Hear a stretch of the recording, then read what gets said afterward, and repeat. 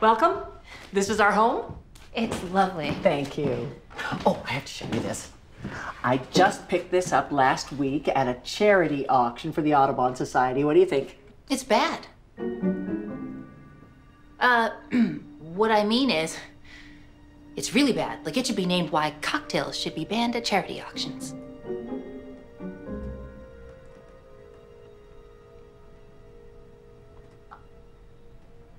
Shall I show you to your room? I would like that very much. Okay. Mrs. Bowman. uh, Yes? Uh, I don't know what is happening with me, but I do know that I would like to impress you very much, and normally I'm quite good at that. I did have a few tequila shots with my friend before I came.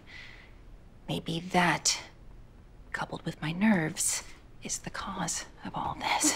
That's all right, dear.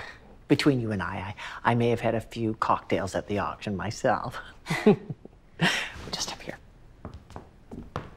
Oh, uh, this Lacey. Pretty. And there's George. Hot. My baby Blake. Isn't he adorable? Huge head. Trust me, dear, I remember.